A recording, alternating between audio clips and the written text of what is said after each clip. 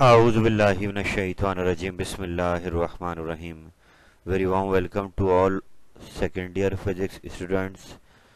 Karachi board science जैसा कि आपका एग्ज़ाम बहुत नज़दीक आ चुका है तो मेरी कोशिश यही है कि हम प्रीलिम्स के जो एमसीक्यूज आए हैं, उनकी तैयारी आपको साथ साथ कराते रहें और इस सिलसिले में मैंने इससे पहले कुछ कॉलेज़ के प्रीलियम पेपर के एमसीक्यूज डाल दिए हैं, जिनमें balm P S H S girls college DJ college government college for men Nazimabad तो मैंने आज आपके सामने आदम जी गवर्नमेंट साइंस कॉलेज के एमसीक्यूज जो 2023 का प्रीलिम पेपर आया, फिजिक्स का, इसमें जो सवाल आए, उनको हम डिस्कस करेंगे।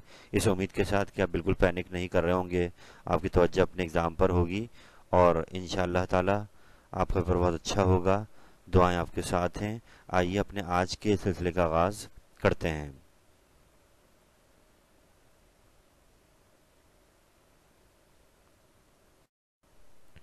ये पहला एमसी बड़ा आसान सा है चैप्टर 16 से आ रहा है एक्सेप्टर इम्प्योरिटीज़ के बारे में पूछ रहा है। चैप्टर 16 में आपने पढ़ा है कि डोपिंग दो टाइप की होती है पी टाइप और एन टाइप तो यहाँ पर आपसे एक्सेप्टर इम्प्योरिटीज़ यानी कि जिसमें हमें जो तैयार होते हैं एलिमेंट उसमें हम ग्रुप फोर के अंदर ग्रुप थ्री के एलिमेंट मिलाते हैं तो नया आपका सेमीकंडक्टर तैयार होता है। तो एक्सेप्टर वही बनता है जो ग्रुप थ्री के एलिमेंट्स के साथ मिलाया जाए। तो एलमोनियम एंड गैलियम यानी कि ये ऑप्शन जो आपका दिया हुआ है, ये थर्ड ग्रुप के एलिमेंट्स हैं तो एलमोनियम गैलियम ये आपका करेक्ट आंसर है। बाकी जो है आर्सेनिक एंटीमनी ग्रुप फाइव है तो डोनर में आ जाएगा। तो एक्सेप्टर को याद रखें कि इसको हम पी टाइप भी कहते हैं कि एलमोनियम गैलियम ये एक्सेप्टर एक्सेप्टर प्रिटीज हैं। डोनर कौन सी होती हैं? आर्सेनिक एंटीमनी तो हम चलते हैं आगे।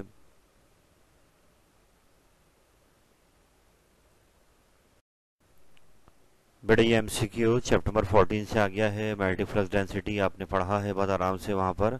और बी के हवाले से आपने उसका यूनिट पढ़ा है टेस्ला तो टेस्ला एक ड्राइव यूनिट है तो ये पूछ रहा है कि टेस्ला बना कैसे है। तो जो फॉर्मूला है F equal Q V B उसको हम अरेंज कर लें बी के लिए। तो एफ़ अपॉन क्यू वी हो जाएगा। तो न्यूटन और फिर बाद में इसको सॉल्व करेंगे तो न्यूटन पर एम्पियर मीटर ये वाला ऑप्शन आपका करेक्ट है। बाकी तीन ऑप्शन रॉन्ग हैं कि ये टेस्ला की इक्विवेलेंट है। और आपको याद होगा वेबर पर मीटर स्क्वायर भी इसके इक्वलेंट होता है। तो इसको याद रखिए, न्यूटन पर एम्पियर मीटर, ये टेस्ला के बराबर है। हम चलते हैं आगे।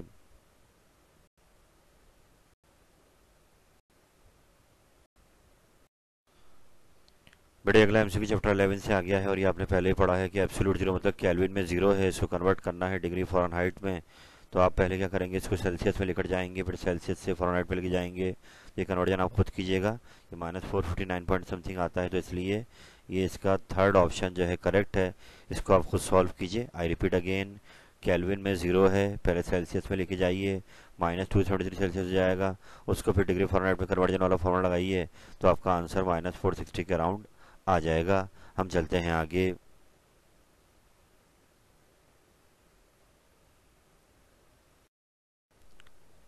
Next MCQ chapter number seventeen से है कि ब्लैक बॉडी के आपने लॉस पढ़े थे, वहाँ पर ग्राफ पढ़ा था ब्लैक बॉडी का आपने, जो कर्व्स दी हुई थी टेम्परेचर एडिशन वाली कर्व्स जो कि बनाया था वेवलेंथ और एनर्जी के दौरान ग्राफ हमने। तो ये उससे मुतालिक सवाल कर रहा है आपसे कि ब्लैक बॉडी रेडिएशन कर्व में जब हम टेम्परेचर इंक्रीज करते हैं तो इंटेंसिटी बढ़ जाती है एनर्जी बढ़ जाती है, लेकिन वेवलेंथ पे क्या फ़र्क पड़ता है? वेवलेंथ बेटा कम हो जाती है। Decreases is the correct answer कि जब इंटेंसिटी बढ़ेगी टेम्परेचर बढ़ेगा तो उसकी वेवलेंथ डिक्रीज हो जाएगी। ये इसका करेक्ट आंसर है इसको याद रखिए। हम चलते हैं आगे।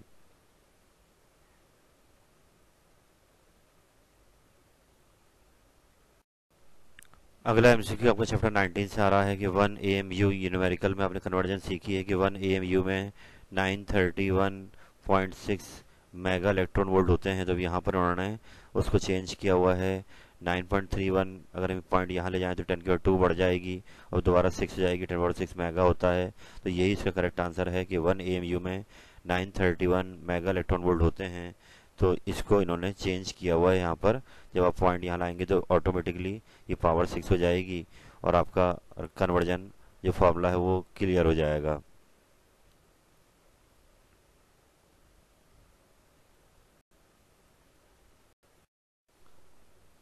बेटा अगला एमसीक्यू चैप्टर 18 से आ गया है। The production of X-rays can be regarded as the inverse of तो बेटा याद रखें एक्सरेज कैसे बनती हैं कि आप हाई काइनेटिक एनर्जी इलेक्ट्रॉन्स को आप टारगेट करते हैं किसी ऑब्जेक्ट के ऊपर, यानी इसको हिट करते हैं टारगेट के ऊपर तो उससे उनकी काइनेटिक एनर्जी कन्वर्ट हो जाती है किसमें? फोटॉन्स में और एक्सरे बनती हैं। अब यहाँ कह रहे हैं कि जो एक्सरे का रिवर्स है, यानी कि इनवर्स प्रोसेस कौन सा पिक करेंगे? तो फ़ोटो इफ़ेक्ट आएगा कि उसमें क्या होता है? ऊपर से फोटॉन्स आते हैं और फिर जब मेटल पे स्ट्राइक करते हैं प्लेट पर तो वहाँ से इलेक्ट्रॉन इमिट होते हैं। फोटोन के आने से इलेक्ट्रॉन निकलना फ़ोटो इफ़ेक्ट इलेक्ट्रॉन के जाने से फोटोन निकलना एक्सरेज की प्रोडक्शन तो एक्स और फ़ोटो इफ़ेक्ट इसके इन्वर्स हैं, इसको याद रखिए। चलते हैं आगे।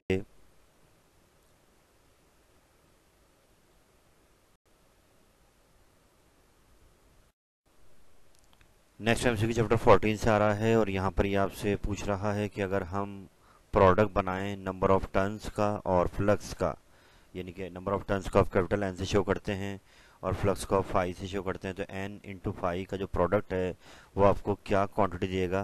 तो याद रखें फ्लक्स डेंसिटी तो ये बी है मेडी फ्लक्स डेंसिटी है ये, लेकिन ये कहलाएगा फ्लक्स लिंकेज इसको याद रखना है कि N into delta phi is equal to flux linkage यानी कि ये एक ट्रम है जो बुक में दी गई है।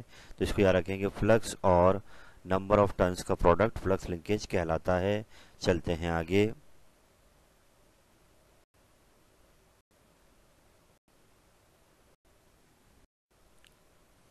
बेटा अगला एमसीक्यू चैप्टर 17 से आ गया है। कॉम्पटन इफ़ेक्ट आपने पढ़ा है और वहाँ आपने देखा था कि जब कोलिजन होता है इलास्टिक कोलिजन किसका? फोटोन का इलेक्ट्रॉन का तो उसके रिज़ल्ट में जब फोटोन स्कैटर्ड हो जाता है तो उसकी वेवलेंथ बढ़ जाती है। उसी को हम कहते हैं कॉम्पटन शिफ्ट तो यहाँ पर जब फोटोन स्ट्राइक करेगा इलेक्ट्रॉन से तो उसकी फ्रिक्वेंसी कम हो जाती है एनर्जी कम हो जाती है, लेकिन लैमडा उसका बढ़ जाता है। तो स्कैटरिंग के बाद जो फोटोन जा रहा है, उसकी वेवलेंथ में इजाफा हो जाता है। इसलिए second option is the correct answer चलते हैं आगे।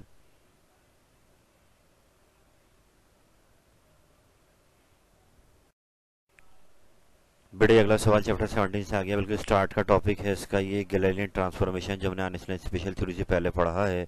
गैलेलियन ट्रांसफॉर्मेशन कह रहा है कि भाई ये किस पर एप्लीकेबल है? तो याद रखें, ये लगता है सिर्फ़ इनर्शियल फ्रेम पर, या ऐसे फ्रेम जो रुके हुए होते हैं। तो यहाँ पे ऑप्शन में इनर्शियल हमें नहीं दिया हुआ है तो स्टेशनरी फ्रेम पर लग सकता है। गैलेलियन ट्रांसफॉर्मेशन तो इसलिए इसका करेक्ट आंसर आप इसको याद रखें कि स्टेशनरी और इनर्शियल फ्रेम ये ग्रेन ट्रांसफॉर्मेशन सिर्फ़ उसी पे अप्लाई होती है, जो रुके हुए होते हैं या फिर यूनिफॉर्म वेलोसिटी से मूव कर रहे होते हैं।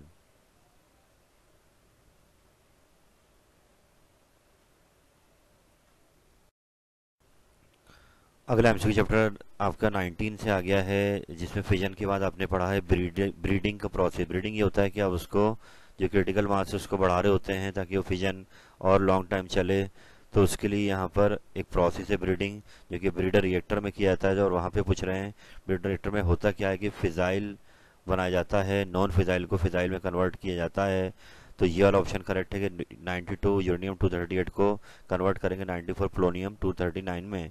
तो इसको याद रखना है। बीटा रिएक्टर से रिलेटेड ये एमसीक्यू बड़ा इंपॉर्टेंट है। इसको याद रखिए कि इसमें कन्वर्जन होती है। ये फिजाइल नहीं होता इसको फिजाइल बनाने के लिए प्लोनियम बनाया जाता है ताकि सस्टेनेबल फिजन रिएक्शन कराए।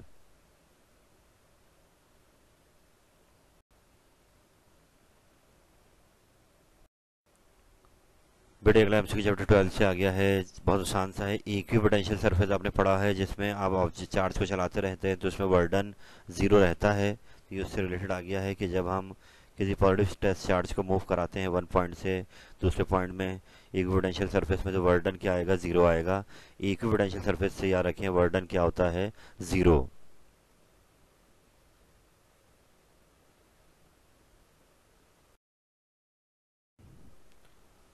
बेटा, ये एमसीक्यू चैप्टर ट्वेल्व से आ गया है कि नीचे दिए हुए में चार यूनिट्स कौन से यूनिट इलेक्ट्रिक इंटेंसिटी का नहीं हो सकता। आराम से इसको देखिए आप। आपने पढ़ा इलेक्ट्रिक इंटेंसिटी के फोर्स पर यूनिट चार्ज तो न्यूटन पर कूलम तो इसका यूनिट है। ऐसे वी अपॉन डी फार्मूला पढ़ा तो वोल्ट पर मीटर भी है, और ये ड्राइव हो जाएगा तो इसलिए लास्ट ऑप्शन जूल पर कूलम वर्क अपॉन चार्ज ये वोल्टेज का यूनिट है वोल्ट बनाएगा ये तो ये इंटेंसिटी का यूनिट नहीं होगा। It is the correct answer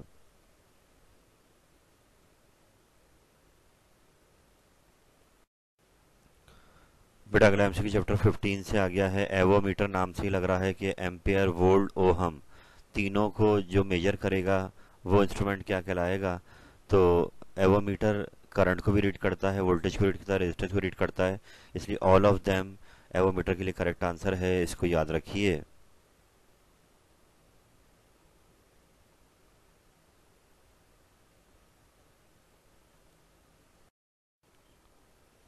बेटे अगला थोड़ा आसान सा है कि वॉट इनटू सेकंड, यानी कि पावर का यूनिट होता है वॉट और टाइम का सेकंड।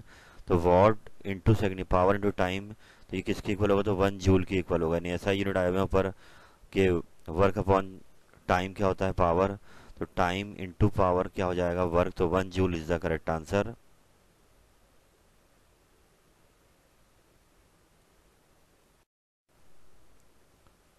अगला सवाल चैप्टर 14 से आ रहा है। इसका ताल्लुक सेल्फ इंडक्टेंस से है कि नॉन इंडक्टिव वाइंडिंग जो हम यूज़ करते हैं सर्किट्स में, उसका मेन पर्पस क्या होता है, वो क्या कम कर रही होती हैं? तो सेल्फ इंडक्शन के फिनमना को कम कर रही होती हैं। उनको मिनिमाइज़ कर रही होती हैं कि उसमें सेल्फ इंडक्शन ना हो नॉन इंडक्टिव वाइंडिंग इस्तेमाल की जाती हैं। Minimize the effect of self inductance in a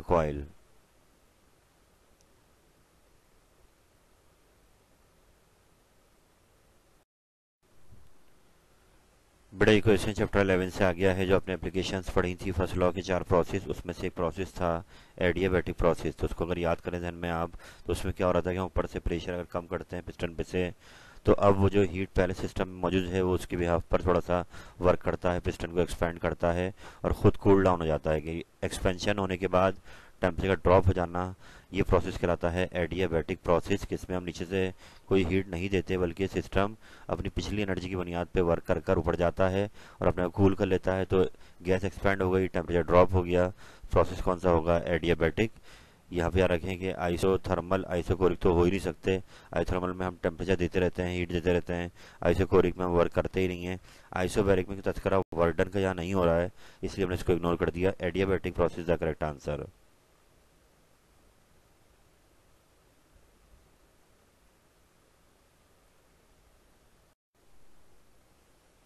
chapter 11 से बड़ा आसान सा क्वेश्चन आया कि मोनोटोमिक गैस में सीवी की वैल्यू अगर 3.2 आर है तो बताइए सीपी की वैल्यू क्या होगी? फॉर्मूला सबको याद है C P minus C V equal to R minus का सी वी हो जाएगा? प्लस का C V three point two R plus R एल्सियम लेंगे तो फाइव पॉइंट टू आर ये सी पी के लिए करेक्ट आंसर है, इसको याद रखिए।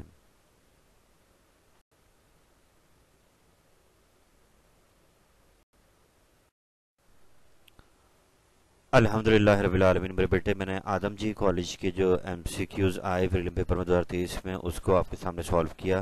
और कोशिश यही है कि सत्रह नंबर जो आपके हैं, इनमें से आप मैक्सिमम मार्क्स गेन करें। एफर्ट कर रहे हैं। अल्लाह ताला आपकी मेहनत को देख रहे हैं इन ताला।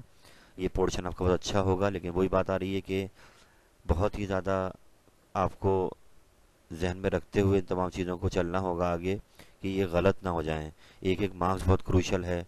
सत्रह नंबर से मैक्सिमम आपके सही होने चाहिए। कोशिश कर रहे हैं।